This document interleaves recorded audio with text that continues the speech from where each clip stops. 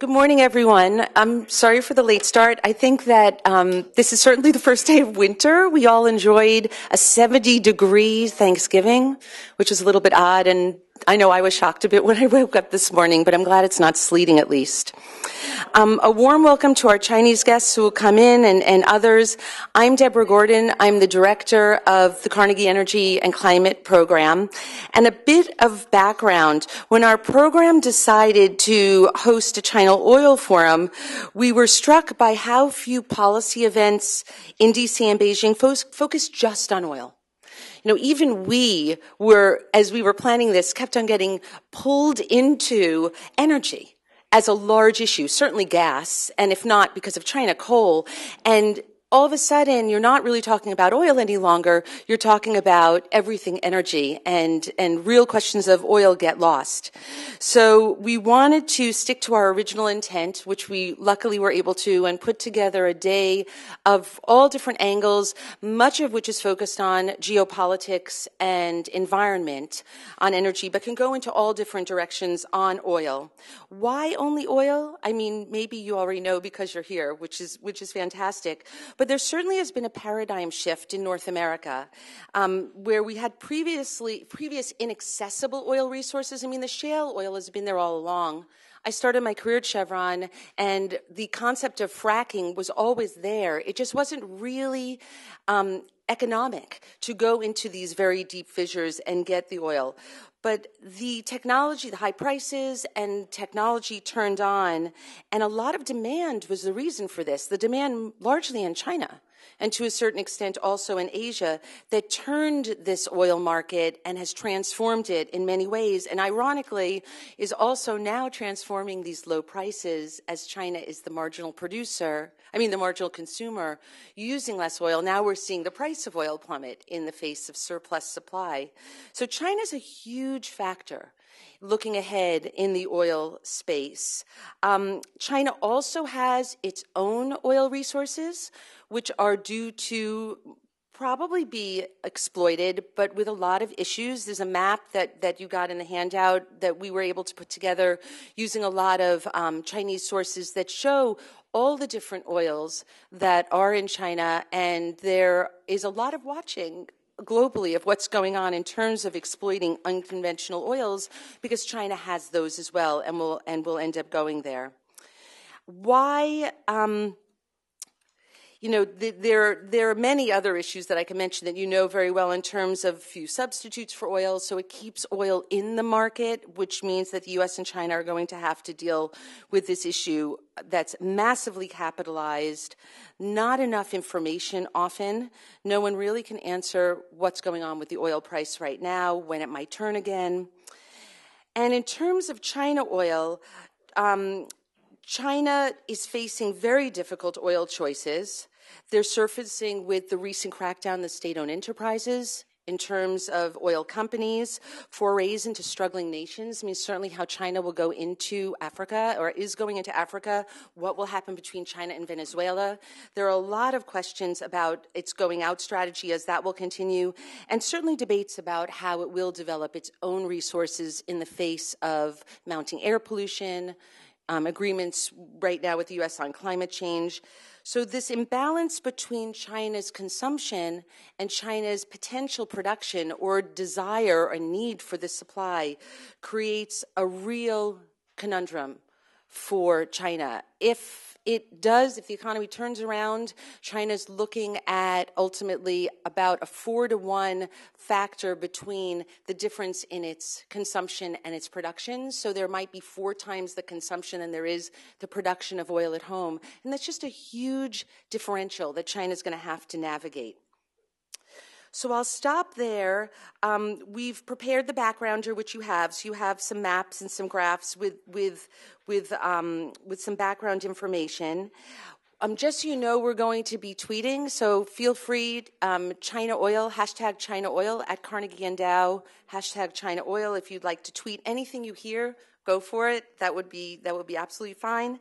And I'm going to turn it over to my um, Tsinghua University colleague, Matt to come to come in and um, kick off the first panel, which is the global oil paradigm shift that I first briefly to- spoke about, and have a discussion um, between a Chinese scholar and a Chinese uh, counterpart, and have a conversation on what this oil paradigm shift means to cooperation between the U.S. and China. So enjoy the day. We are going to open up to a lot of discussions, so think about questions as you're going and be prepared to engage. Thank you so much.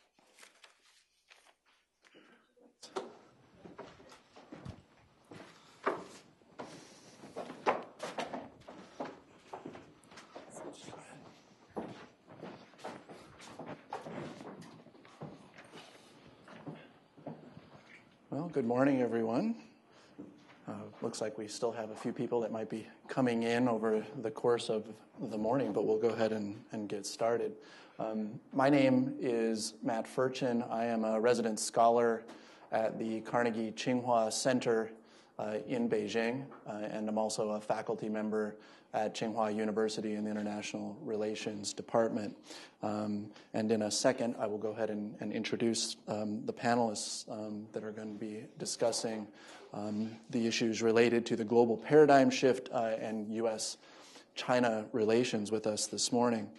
Um, I just wanted to make a couple of quick follow up comments to those that, that Debbie made, uh, and then I'll go ahead and, and introduce our, our panelists. Um, this may not need saying, but um, I found the idea that this is such a timely issue to be worth saying something about. Um, just yesterday, as I went to the airport and picked up a newspaper, uh, one of the main Chinese newspapers, the front page story had a headline about global oil and a picture of a sort of of, of the map of the of the globe and then a, a chessboard on top of it, and the whole topic was about OPEC and global chess match, and then inside articles about OPEC oil price negotiations, and including an article about Venezuela, which I'll, I'll talk a little bit about later. But clearly, dropping oil prices in the news matters in China, and obviously China's role in that is very important. Um, and then just a few weeks ago, after the APEC meetings in Beijing, the announcement about U.S and China cooperation on global climate change, and clearly a major part of that involving um, energy um, and, and, and oil as well as other things. So, um, in a sense, it goes without saying how this is important and, and in the news, um, but it's also, I think, just a, a, great timing for us to have this discussion. And to start us off this morning, uh, we have two great speakers who are going to discuss the, the broad issues and will sort of set the tone for the day. So um, let me just do some brief introductions and then we'll get into it. Um, so the first of our panelists is Xu Qinhua, uh, who is a professor in the international in the School of International Studies at Renmin University or People's University in Beijing, uh, where she is also the director of the university's Center for International Energy and Environment Strategy Studies uh, and has extensive international study uh, and work experience. But as far as I understand, this is her first trip to Washington, D.C. So, welcome, Professor Xu. Um, and then our second panelist uh, is Mikkal Herberg. Um, who is the research director of the National Bureau of Asia's of Asia Research's Energy Security Program. Uh, he's also a senior lecturer on international and Asian security at the Graduate School of International Relations and Pacific Studies at the University of California, San Diego.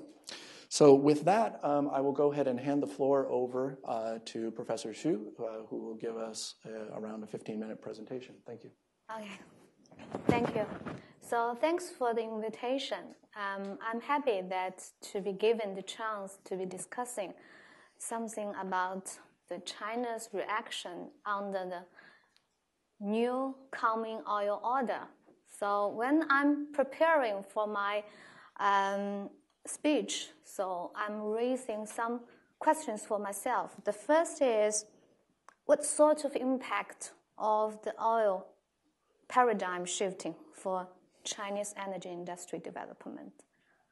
Um, and what the relationship between the oil paradigm shifting with the China Energy Revolution, which was raised by Xi Jinping in the beginning of 2014.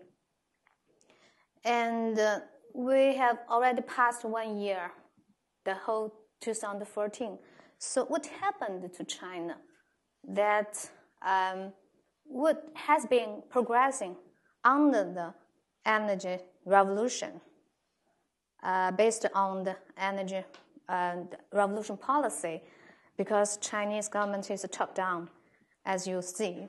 So I trying to use a case study uh, using energy source, um, natural gas, to be analyzed. What we have been doing uh, in the production and also consumption, and also in the reforming of the mechanism, and also in the international cooperation, because uh, everybody here is very clear that China has been progressing very aggressively this year in cooperating with Russia, and also we have the climate agreement with the U.S. So we our foreign policy has been trying to strike a balance between the Russia and the U.S. I think because I'm not leading the Center of International Energy and Environment Strategy um, Studies, and I'm also leading an institute of Russia, Eastern Europe, and Central Asia of my university. So the third question I raised for myself is what is the key thing that has been pivoting China's foreign energy policy. So, what is the real thing we can be forecast in the future that China will be more closer to which country or which group or which I think the oil order. So, I think just as our Xi Jinping has just give a speech about the Chinese foreign policy, he gave a new thinking that Chinese is, has been involved not only in the country competition, but also in the, um, how to say, to which place we are trying to be sit, sit in. So if you look at his speech. So let us look at in detail the natural gas. First, the demand and the consumption side. We know that this year that there is a very slowdown in energy consumption growth rate in China. So there is a saying that China might be also an energy consumption camping, capping. I mean, there might be some energy peak, consumption peak. But the growth rate of, though the growth rate of oil, coal, electricity, and other energy products has been decreased to single digit growth, but natural gas consumption grew double digit at 13.9%, amounting to 167.3 billion cubic meters. Natural gas imports grew by 25% and 53 billion cubic meters, of which 17 million tons are LNG imports and dependence of foreign supply was 31.6%. The fact is, China, for the first time, import, I mean the net import the natural gas since 2007. That means we, we firstly import natural gas in 2006. So 2007, I called as the natural gas policy year that we issued so many natural gas promoting the policy at that year. So, China has become the third largest consumer of natural gas in the world, but it is only 5.8 of the Chinese energy consumption mix. When if we compare it to the average 24% of the developed countries, we think that there exists a large capacity for growth. That is the demand side for the supply side. So when we has been expanding our um, production and the, and supply capacity, we expanded natural gas production capacity with the construction of the west to east pipeline, trying to deliver natural gas from the western to the eastern region. So, through international cooperation with Central Asian countries, there we have three pipelines already. ABC have been built, and this summer I joined the how to say the approvement of the pipeline D, so also from Turkmenistan and natural gas resource to China, has already begun. So agreements has been signed with Turkmenistan for the supply of 68 billion cubic meters of natural gas. And we also signed an agreement with Russia for supply of 68, the same data, the figure, billion cubic meters of natural gas through the eastern and western pipelines. And the coastal, coastal provinces have also increased their imports of liquefied natural gas, LNG, from abroad. So to easing that our supply cannot meet the demand. But the thing, the question is, so many people visit my center. Give my question is, why China signed so many agreements with Russia? Because China are thirsty for the natural gas and thirsty for the overseas energy source. And my answer is no. I said that Russia is dependent on China's market, energy market. Why? That is what we have been doing in the natural gas sector reform. The reform for what? The reform for the price. Because China, the natural gas pricing mechanism is from the planned economy. And right now we have two kinds of pricing mechanism. For the old well natural gas, natural gas well, we have the well gas price. It's very low. It's cheap compared the new natural gas well. So we still, the government still control very much the price of the natural gas. Why? So we need to have a close look at the natural gas consumption according to its use. That in China, city gas has the highest share of natural gas consumption at 41%. Um, so citizenry, citizenry sees natural gas supply as a social and public welfare. So it should has a public utility nature. The government should be given the financial subsidy and the government should try to keep the balance that to induce the market price market mechanism to the planned mechanism to be protecting and keeping the stability of social life of the citizens. So that is one thing that because the pricing control the mechanism, the energy consumption market can be expensive very quickly. So now the total agreement for importing the natural gas in the following 10 years has already reached what we need in the downstream. And another thing is that at current prices of natural gas, we compared with coal, to use natural gas for electricity generation, the cost in terms of per kilowatt hour is double that of using coal in China.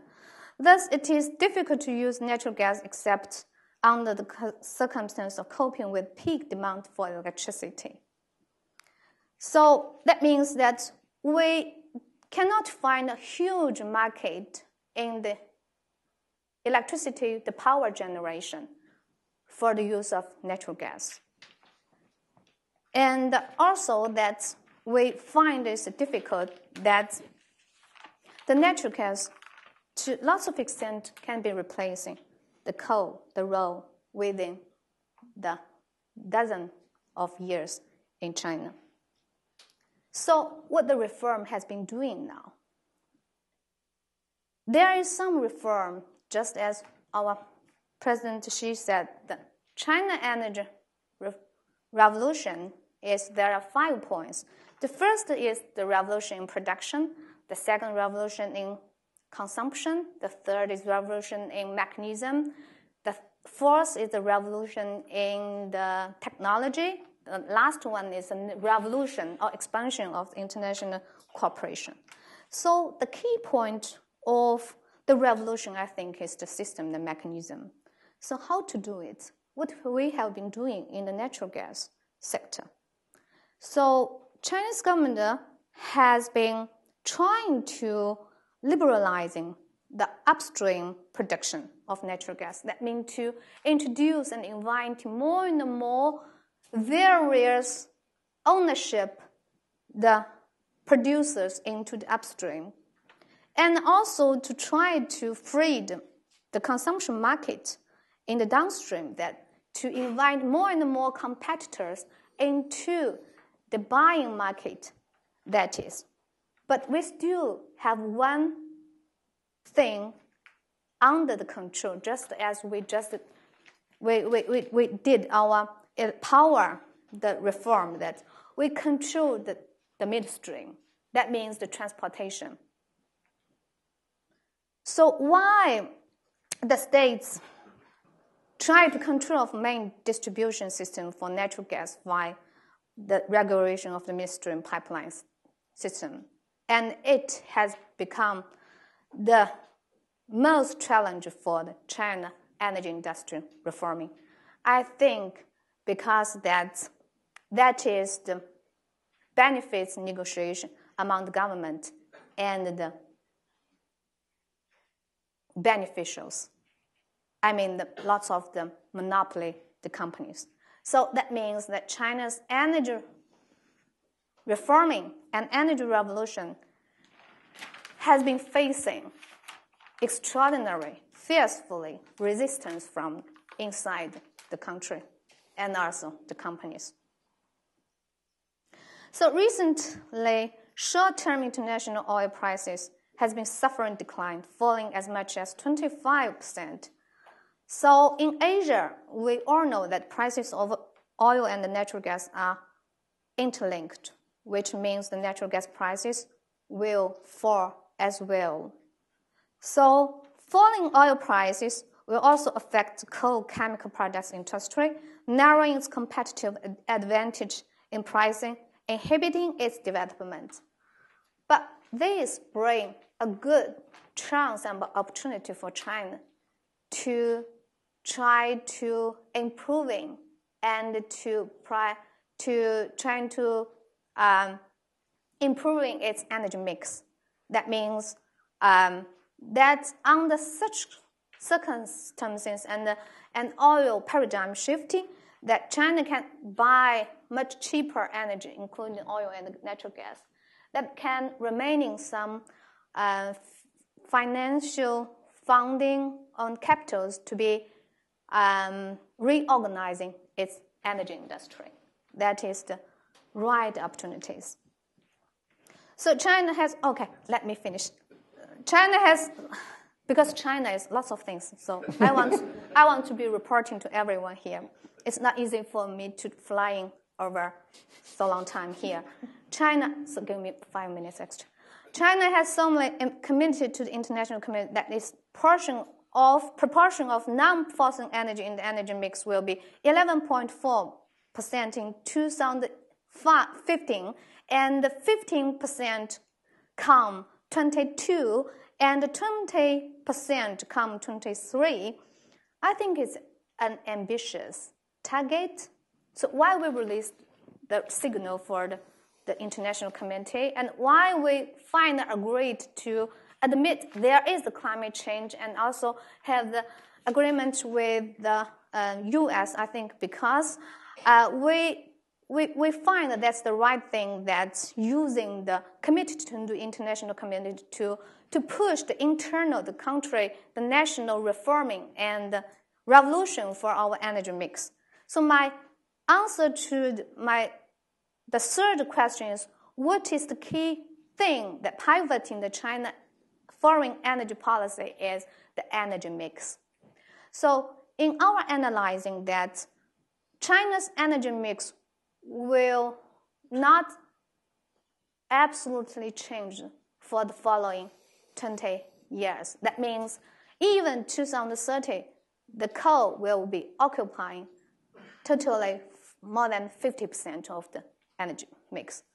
Okay, so we still can be dependent on China's coal production because China's the number one energy producer thanks for the coal and also the number one energy consumption and also the number one emission of course and also the number one oil importer from outside so because we are dependent more on coal so our total energy foreign dependence rate is under 12% totally.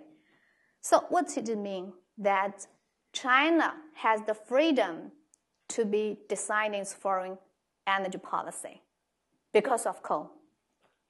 And the second is because China is oil, the number one import country, and we have more and more increase of the natural gas consumption, then China should be following the traditional oil order.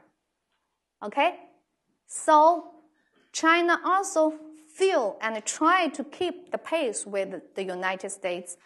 They're the mapping into the new energy era. So that China always should also keep the balance to be following the US. So you could find, find that this year China's foreign policy is trying to keep the balance between the Russia and also the, the US. We, we get agreement both with the Russia and both with the US. Also, we have so many contracts during our premier and president's visit to Europe. So my conclusion is China's energy revolution in the area of the international oil production and consumption um, change and shift, our revolution is a very, very ambitious and tough task. It will be lasting a long time. And China's foreign energy policy will be trying to keep balance among various groups and China, even following the old groups and old energy system, but China tried to be emerging at some country to some extent to have some power in deciding something, especially in the pricing, international pricing mechanism. Okay, I'm finished, and I'm sorry. No, it's terrific. Thank you. Um, and and uh, I completely agree. Flying halfway across the world, you want to be able to say the key things you want to say. So very valuable. Thank you very much. Um, you know, we'll have a chance to talk more about this in a minute. I find it very interesting the framing of what is going on in, in China as a as an energy revolution. It's a maybe you know the, again the ambition of it, but also the way in which that's being linked to foreign policy um, efforts and, and how that can be thought about here in, in Washington, D.C., I think is very important. So thank you very much. Um, and we'll move over to Mikkal. Thanks, Matt. Um, and I want to thank Carnegie and Debbie for uh, bringing me here to speak to this group, uh, distinguished group today. Um, in trying to think about China's global oil impact, I think it's, it's important to appreciate the scale of the, uh, of the impact, this enormous gravitational force uh, that China has on global energy markets and its oil, its decisions about coal use, becoming an enormous force in natural gas markets in Asia and globally. You know, go across the energy spectrum, and China is literally a dominating demand force across virtually all these uh, these various uh, fuels. To me, the big the big question is coal, but we're here to talk about oil today, so I'll, I'll talk about oil. Um, if we drill down into oil and China's kind of oil impact uh, globally, you know, demand has quadrupled 1990 to 2010, oil demand in China. Uh, they've gone from 2.5 million barrels a day to 10 million barrels a day consumption. Now, 6 million barrels a day of that is imported. They're the largest net oil importers we mentioned before, surpassing the U.S. They're the largest buyer of crude oil from uh, Iraq, often Saudi Arabia, uh, Iran. So, you know, when you, when you look out at the effect of this enormous demand growth and import consumption growth, uh, China has become this huge uh, force. 40% of the increase in global oil consumption over the last two decades has come out of China. Uh, so you can kind of go through all the, all the magnitudes of the impact they're having on the market. But I think from a, and if you go forward, you know, the IEJ just came out with a recent uh, forecast. The world, the, the IEA has come out with a forecast. China is likely to be heading for 16 million barrels a day of oil consumption uh, in the next 15 or 20 years, 10 million of which plus will be imported. Uh, so it's true that 12 per, that China only imports 12 or 13 percent of its energy supplies when you take into account coal and the others. But in this particular uh, area of oil, which is a, you know a very different, very peculiar, very unique part of the energy mix, uh, China is facing this enormous dependence on imported crude.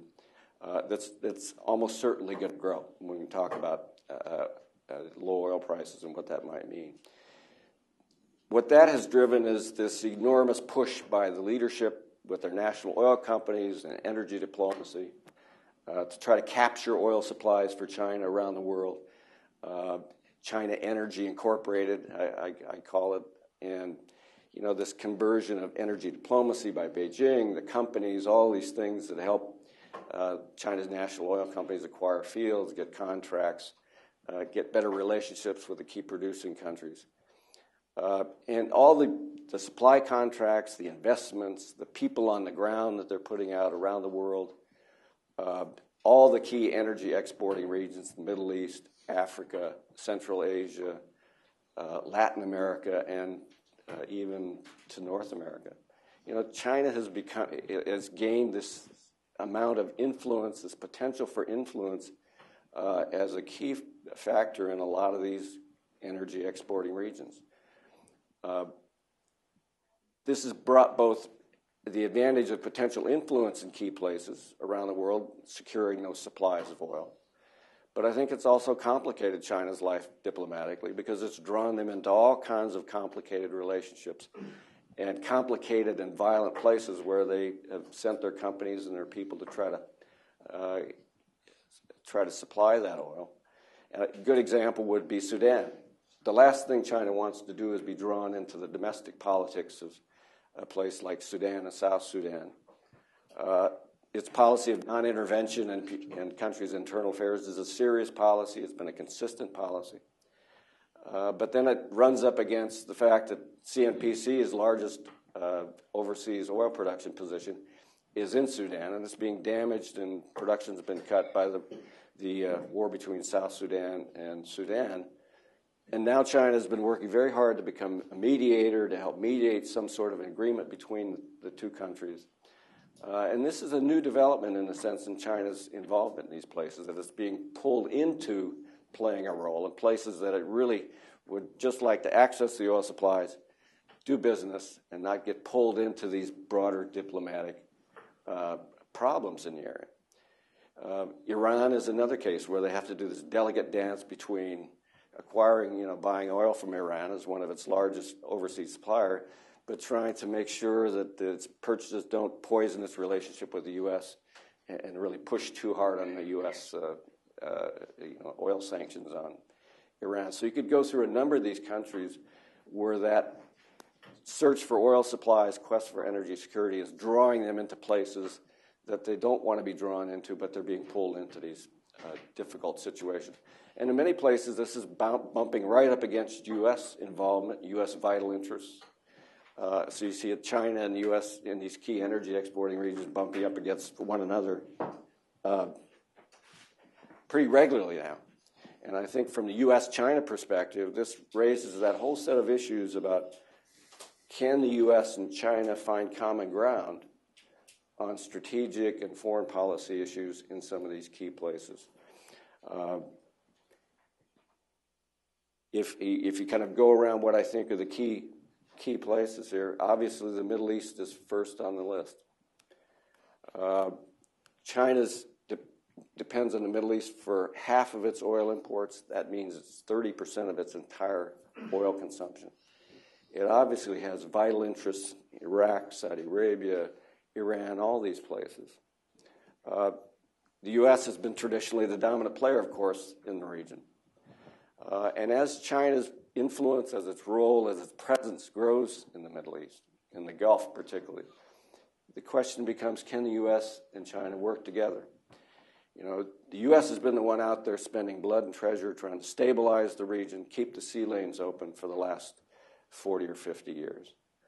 Uh, China's approach has been to do business with the region, access the oil supplies, uh, but not get drawn into any broader role. It sees its energy security interests in fairly narrow national terms of acquiring our oil supplies, uh, China's oil supplies.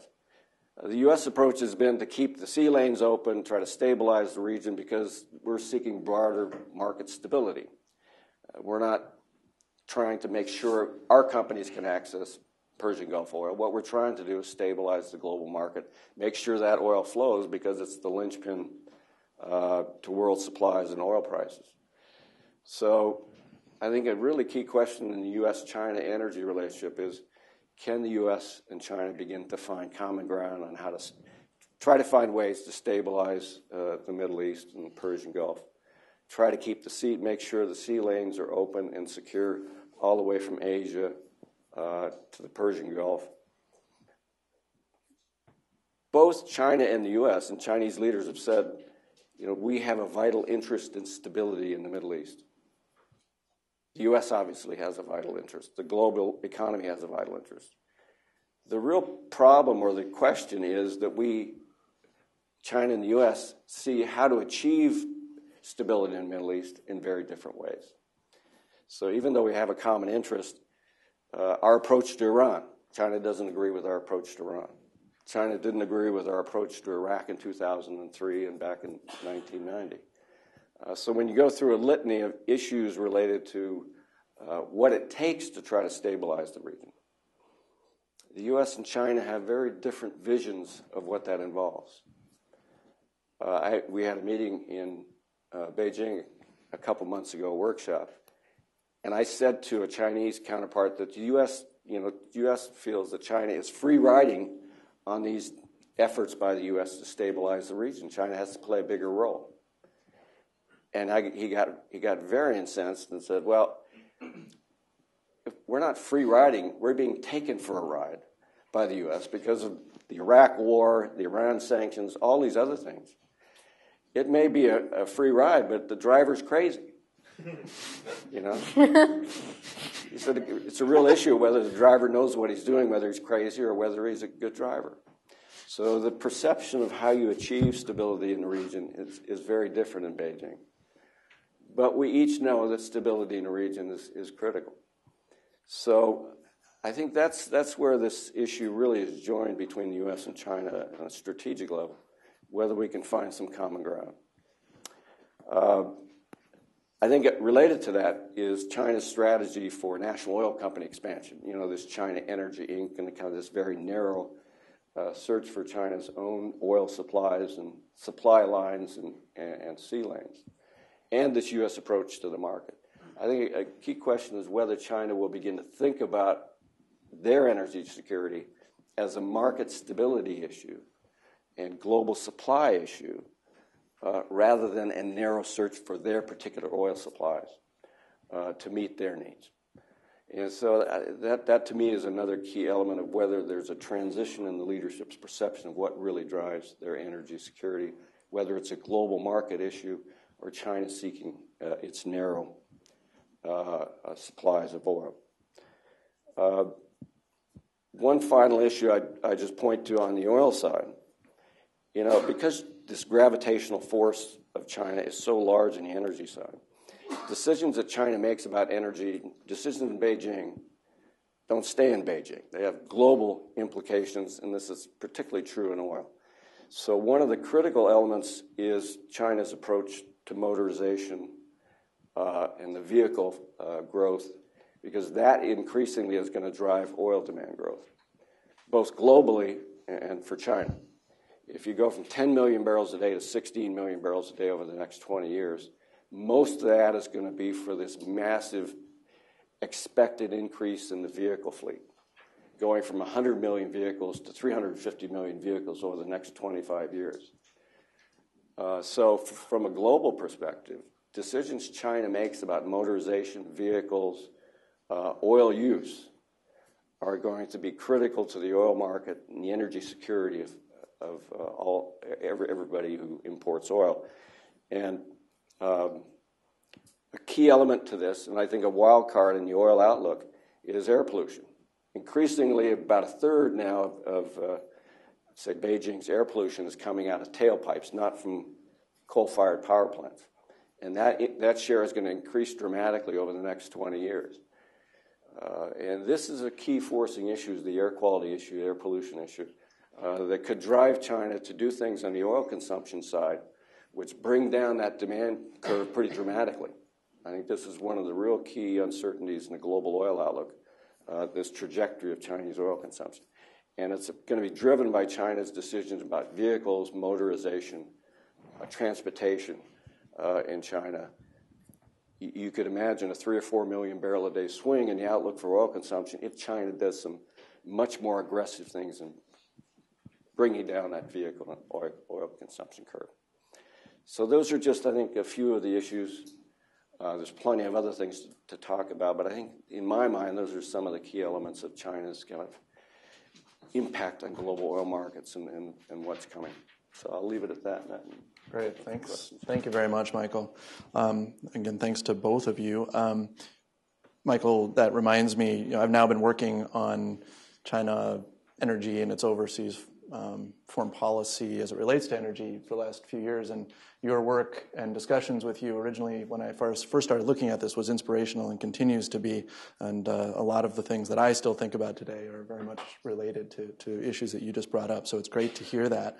Um, I'm going to open it up to uh, questions here in just a minute. Before I do that, I'd like to take the opportunity um, to ask both of you one issue that's related to both of your expertise and issues that you, ju- you both just mentioned. So, China, under Xi Jinping, has a new major initiative, um, which I think has important implications for energy and energy security and its relations with um, other countries, both near and further away. Um, and touches on questions of, of stability. And this is the New Silk Road initiative, which is both a overland and a maritime aspect to it. And I'm just wondering if I could get your thoughts um, on what you think of this initiative in the context of some of the issues that you brought up, what it will mean for China's approach to, to oil and, and how it plays into questions of energy security or even pricing issues. Any thoughts at all that you have on, on those? So, Mike, when we were in Beijing, then you discussed about China's free riding, and I support you that China is free, free riding. that the thing is, how can China turn from the free riding to be the rider? I think so. That's the question.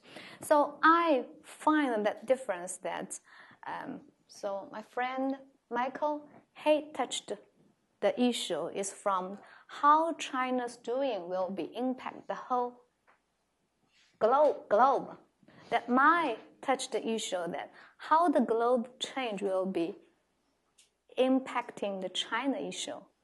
So I think that that is the difference between the vision. We are looking at the same thing from different uh, angle that that is also the Chinese should be studying, learning from the U.S. That we're trying to expanding our thinking in a more mm. global way. So I think that that Xi is a very globalized person, and also Premier Keqiang is also a globalized person. So you can find that before in Chinese governments that always the premiers, the stand in front of the, the president. But now the premier is behind the president. That is one change. The second is I think the China energy revolution is a signal that China has been changing its way and role and place in the, the global energy governance. That China tried to doing something to be contributing to the world because they think that the energy security is the global issue. That it's there is no the depend, independent energy security in one country. It's the interdependence of it. If the world energy security is not good, I think China is not good either. So I think if China can saving its oil importing from outside, then I think it's also beneficial to the whole world because the, the, the energy resources is floating mm-hmm. everywhere. So my final point is that I just forgot. Maybe you first, then when I record, I will say. So thank you.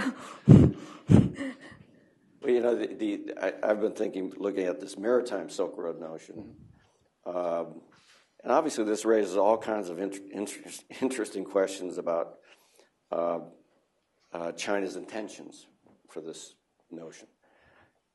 You know, from my perspective, China's impact, China's capacity, China's potential influence is going to grow, whether they like it or not, just be driven by their interests in these expanding supplies and where they're going to have to come from.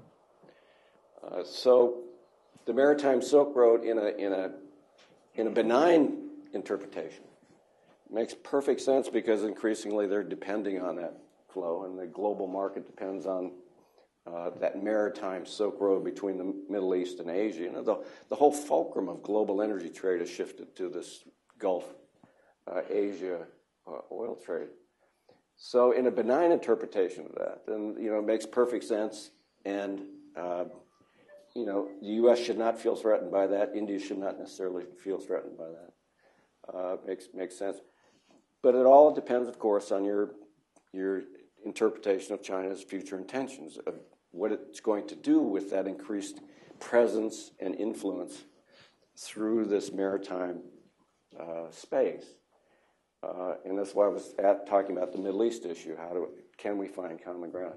So I think the question for me would be: Does China see this as a collaborative, global uh, effort that includes the U.S. and other key players that have vital interests in that flow and that space, or does China see this as, you know, a China increasingly China dominated trade and oil trade route. So I think it's the, the China's capacity is going to grow to do these things. The question is how do we interpret that? And how do we shape China's development of the maritime Silk Road, or try to, from the U.S. perspective, to shape it into something that is collaborative, that is uh, regional, that is non threatening uh, for India and others. And can I add, because I record that, so I think maybe there is huge difference among the energy security understanding based on very different energy culture between the US and China. Because China is a developing country and it, it has been challenged by the pollution and environment protection issue. So it has been turned from energy security, the definition from IEA, the self, the supply sufficiency, to be more like the three E's economic development, environment protection, and energy, energy security. Because every the three points Chinese government should be, be very careful about it. If without green roads, the people will be rebelling. so if environment prevention cannot be dealt with smartly, so people will be angry. So if the energy security can be, so I think Chinese government has been facing much tougher situation than the U.S. government, and now after Fukushima, the energy security has another content into it is the safety.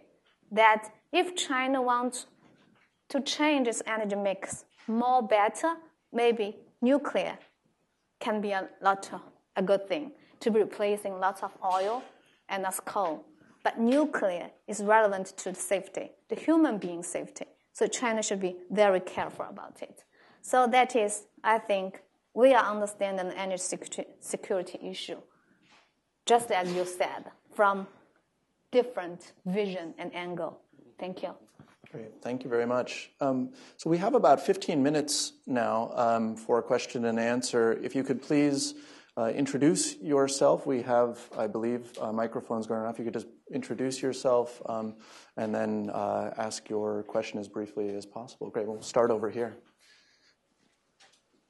Hi, I'm Bob Hormats. I'm now Kissinger Associates. I was formerly Undersecretary of State for Economic Growth, Energy, and the Environment. So we spend a lot of time dealing with China on these very issues. I'd just like to make one historical reference and then a, uh, ask a question. The new Silk Road idea that Xi Jinping has talked about is very interesting because several years ago, we actually had put forward another vision of a new Silk Road. The desire at that point was to try to integrate Afghanistan and some of the Central Asian countries after America left, after American troops left Afghanistan to improve the prosperity of the region, to link Afghanistan more closely with other countries in the region. And every year during the World Bank IMF meetings, I would chair a meeting of finance ministers from the region, which included China, to talk about the new Silk Road. But the context was how do you link Afghanistan and other Central Asian countries together to enhance the prosperity of post war Afghanistan and, and, and, and also to broaden the number of countries involved. So we looked at it from a very different point of view. China, the question is, how does China look at it? And uh, ours was much more institutional in terms of strengthening the region. Does China look at it more in very narrow Chinese terms? And I think this is something that really requires a lot of thought and, and cooperation. It, it's true the two could mesh. It's also true the two visions could clash, but it's a very good point for further cooperation. But I just wanted to lay down that historical reference because I think it's, it illustrates that you can look at this in a very benign, harmonious way, or, as you point out, the opposite. The second is really a question, and that is if you look at the notion of free rider that was talked about, the U.S. has thought about this a lot, and that is do we really, if we're talking about China patrolling the sea lanes and ensuring the security of the sea lanes, that sounds great um, in terms of if you, if you really think about it more deeply, however, the question arises should we be careful what we wish for? Um, and that is do American interests, do the interests of the Saudis, the Indians, the Indonesians, and many other countries, uh, are they served by a very extensive blue water Chinese Navy that goes all the way out into the Indian Ocean and beyond? Is that something, and into the Gulf, supplanting the Fifth Fleet or complementing the Fifth Fleet? These are really interesting questions. First of all, China is very reluctant to do it. Certainly at this point, they don't have the capacity to do it. And a lot of Chinese don't want to do it because of the intervention reasons that you mentioned earlier. From an American point of view, do we feel comfortable in China playing that role? Does, do the Indians feel comfortable? Do the Gulfies feel comfortable in, in, in having China play that role? What would it consist of? China did participate in the anti piracy effort um, under e- either an American admiral or British admiral, but they all worked together. That's an area where there was harmonious cooperation. But if China decides it wants to play a more extensive role, what does that mean for the U.S.? What does it mean for all the countries along the, uh, the string of pearls and, and beyond that? These are questions that I think when we talk about free riders, we have to think very carefully about what that means, how that works, and under what circumstances it would be good, and under what circumstances it would cause a lot of concern for the U.S. and other countries in the region. This is a tricky issue, and slogans like free rider, non free rider just skim the surface. It's a very deep issue, and it has profound security and economic and political implications. Thanks. Thoughts from either of you? Yeah, you know, I, I, I, I couldn't agree more. I, I, I think the way I tend to think about it is that China will have a blue water navy. It will be there. Right. Yeah, it, so the, it's not a question of whether they will or won't. Although certain things, U.S. does could shape that more or less, you know. Uh, but uh, it seems to me virtually inevitable that they will, and so then you just you start asking the question, well, if that's going to happen, then how do we shape that? Is that going to be something we can shape in a collaborative way, or is it a, going to be a competitive environment? And so I, that's the key issue to me, not whether they will, but when they do, how do we manage that? You know, and you have the, the, the piracy template, the piracy effort in the Gulf of Aden is a template for possible collaboration. Uh, and and we've, we had a workshop in Beijing. We talked a lot about that uh, in Tokyo as well. And so that, that's a potential template for collaboration.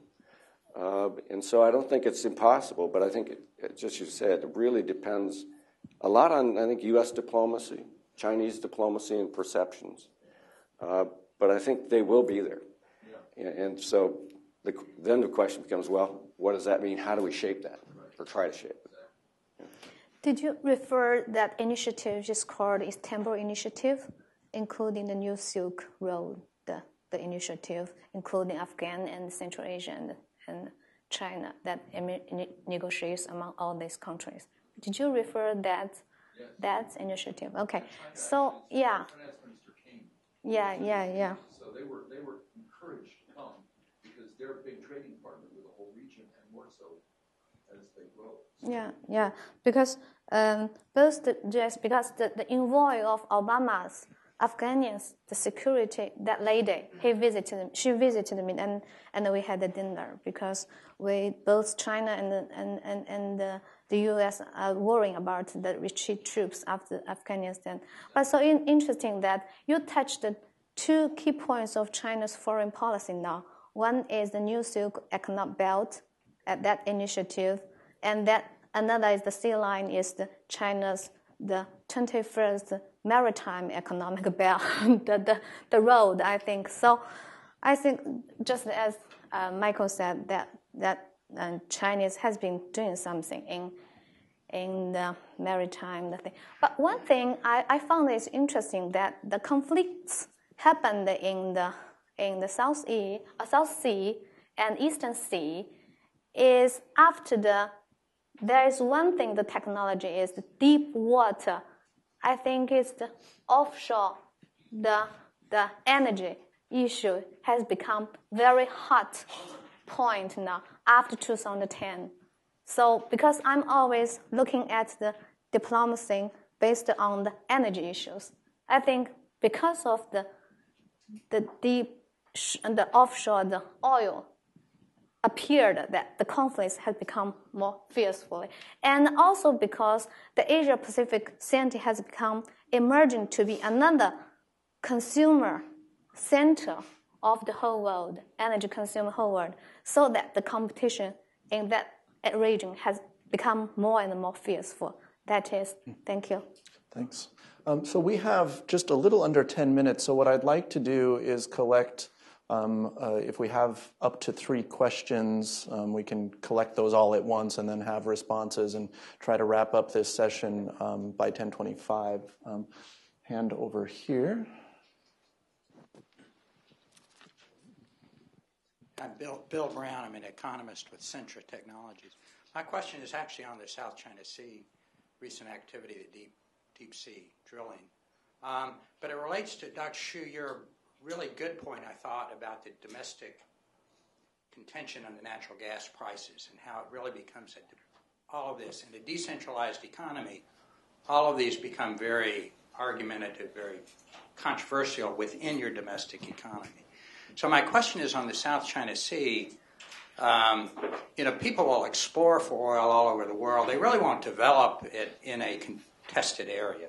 No, I don't know anywhere where you spend the billions of dollars in a contested area. To, it's just too vulnerable. Um, oil is usually in areas you make agreements. so my, my question is for in uh, the South China Sea, do you find uh, domestic argumentation in China for some kind of solution there that would produce that would get a consortium kind of production out of the South China Sea? Um, that would be seem like it would be valuable to your consumers, obviously, but also to uh, industrial infrastructure producers. In other words, in a decentralized economy, you'd think there'd be a lot of people in China who would want to make development happen down there. Uh, rather than in Washington here, we always treat it as a sovereignty issue, uh, which I'm, I'm wondering if it really should be a sovereignty issue or, a, or an economic issue. Thank you. Um, we got one in the back and then one up here, and I think we'll take those those two, and then we'll have responses. Uh, thank you. Uh, I'm uh, I'm Qi Hang Zheng. Uh, I'm a reporter from Xinhua News Agency. Uh, my question is that now, as the oil uh, world oil prices go down, and it may, some organization also expect it will last to the middle of next year. So my question is that as the world oil comes down, so how much it will impact the uh, renewable energies both in China and in US because both countries' leaders have just make a joint com- uh, commu- uh, com- uh, to boost, uh, to, bo- to cut their uh, carbon reduction and also its impact on the U.S. Uh, shale gas. Thank you. Thanks. and then we'll take one more right up front here. Yeah, hi, Ken Margaret, World Ducks. Uh, speaking of global uh, oil paradigm shifts, one of the recent shifts is a shift from production by conventional means, meaning poke a hole in the ground, the oil comes out, to unconventional means like squeezing tar from sand and uh, fracturing the earth and drilling in deep water. Uh, has uh, China's oil production by conventional means peaked? And do you take into account in your planning uh, the fact that global oil production by conventional means has peaked? Great. Thank you very much. And for those of you who didn't get the, a chance to ask a question now, we still have the rest of the day, two more panels, um, and, then a, and then a concluding session. So hopefully you'll get a chance to, to make some comments. So let me throw it back to the, the two of you and um, for some brief comments so that we can move on to the, the next as well. Maybe uh, I shortly answer that. Your, your question is about the, the, the South Sea. That I, I think it's about the political and also economic issue. As I know that maybe 10 years ago, our our uh, some uh, officials of the Ministry of Land Resources and also the uh, Ministry of Energy and Administration, they suggested that our company, the minor three energy companies, to asking for that we have the share fields in the sea, in the, but our Ministry of Foreign Foreign Foreign affairs, they refuse that they, they think that we don't want to bring up lots of conflicts in that area. So I think that because of the um, energy issues and resources and issues, and also you refer to sovereignty, I think that she think that it's it's it's it's the last minute and the, the last space, and China can be retreat, or their people will their, that people will, will be betrayed of, of, of him. So I think it's both the political and also economic issues. And about that, that question is, I, I just give the story about them. I think it's, it's a good news for China, but it's not also both the good news and not, not good news. Because for China, if China cannot take advantage of this, the, the cheap oil price and try to be adjusting the energy mix, I think um, if can manage to do it, it's a good news. But actually, that the main energy companies of China they are trying to refusing to joining the new and renewable energy, the um, the investment. I think, for example, the CNOOC, you know the CNOOC, the so CNOOC, they before they invest maybe five billion um, dollars to be in collaboration with another company under the SASAC of China. They try to to to, to have the try a pilot technology uh, um, reforming um, and invention in the new energy cars, but the, by the this in the beginning of this year they gave up. They just sell the company out. Then they be involved, focused in the LNG. So I think if that is the bad news, And uh, referring to your question, I'm sorry, but I didn't very much catch of you. Maybe my friend again help and please. Mm. Well, just a quick. The, the, in South China Sea, it's a matter of political will, because you can do a joint development area like Thailand and Malaysia have done offshore. You can do a neutral zone like Saudi Arabia and Kuwait have done. This is easy to push the sovereignty issue down the road and say, let's develop the resource. But there's no political will in the region, we can talk about why, to kind of go that practical, practical route right now. In terms of the low oil price impact, this is an enormous near term benefit for Asia, for China, bring down oil costs, but it's also bringing down LNG costs for Japan and South Korea across the region because these are oil linked uh, LNG contract. Huge benefits across the region from uh, both of those developments from, from lower cost oil. But in a sense, for, for China, it's a mixed blessing because it might mean you know lower oil prices, probably mean higher oil consumption over time. You know that's the natural relationship, and the the whole the whole direction of policy to me would be to bring down that oil demand curve, uh, to to slow down that oil import dependence growth. Uh, so I think it's a mixed blessing in a sense for China, lower costs, but also potentially pushing that demand curve up. And in terms of have we peaked in oil, the problem in the oil market today is too much oil. At $100 a barrel, we've got oil coming out of our ears from Bakken and everywhere else, uh, deep water development, all these things. So uh, our problem now is that at $100, we got plenty of oil. It's a, it's a demand problem. Uh, so, I, you know, I think the problem is, is too much oil at 100 bucks. Great. Well, thank you very much for both of you and for the great questions. Again, we're going to have three more sessions uh, throughout the day, so I encourage you to stick around for more specific aspects of all of the issues that were um, so well brought up already in the discussion this morning. So thank you again to both of you and to all of you for coming.